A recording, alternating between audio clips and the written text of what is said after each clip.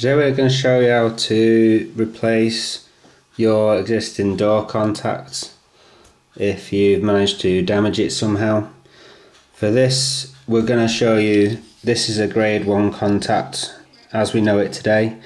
This is what would normally be fitted on a domestic um, alarm system usually on a PVC door or an old wooden door where it's been awkward to fit a flush contact.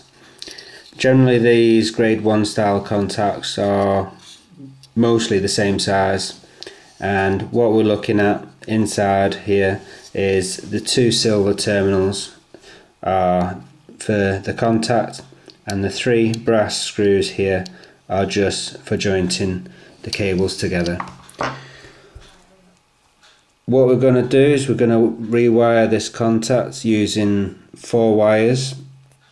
Now there's no set color codes for installers to use so I'm just going to choose four for the purpose of this demonstration which is going to be red and black and blue and yellow. I'm going to strip each of the cores back that I want to use for about a centimetre or so. Like that using a pair of ordinary side cutters. And I'm going to use blue and yellow for tamper which I'm just gently going to roll in between my fingers to twist them two together.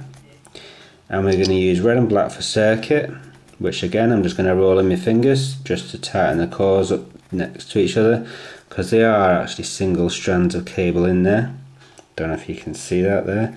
So by rolling your fingers you tighten them up it's going to make it easier for you to wire them onto the contact.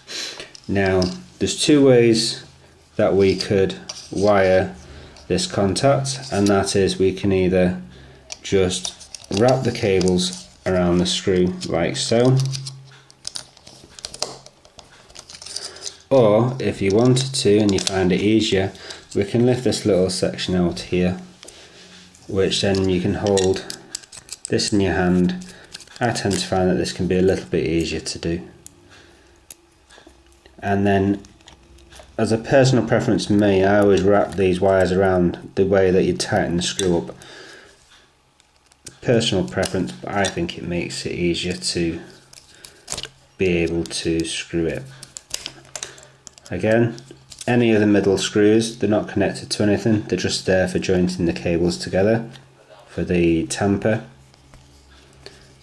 So we'll tighten up like so. And then what we'll do is we'll just cut off these little end pieces here to tidy it up.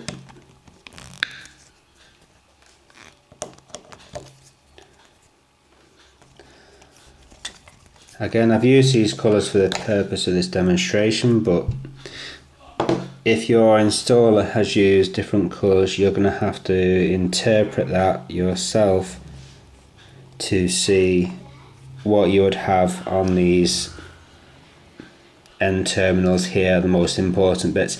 If you've got an older system, you might find the installer might not have actually have actually use tamper.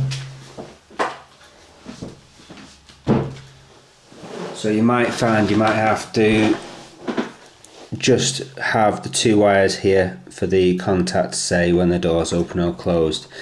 If you do remove this from the contact, all that you have to bear in mind is that on the contacts you have a little arrow. I don't know if you can see it there. Just make sure when you slot this back in that the reed switch goes to the same direction as where the arrow is. So we'll clip that back in there. Also in the corners of these you have little bits where you can cut them out here in the corners which I've already done on this one and what that allows you to do is if you put all your cable in place if your cable is surface on your door it allows you to fit your contact flush rather than chopping your cable. The other thing to note as well is that with this, like I pointed out, you have this triangle here. Also on the magnet, you'll find that there is also a triangle on the magnet as well. When you're fitting these to the doors, it's a good idea to get these two to sit as close as we can without them actually touching, but to get the arrows to actually point to each other, just to make sure that it all lines up correctly. Once you've marked that up, we can then put the screws in and tighten them up to the door frame. I hope that was of use to you. Like I said, your colours might be different, so you'll have to interpret that one for yourself because I can't tell you what every installation company might or might not use. And for next tuitions, what I might do is I'll look into doing this again, but with end resistors. I hope this was helpful to you. Thanks.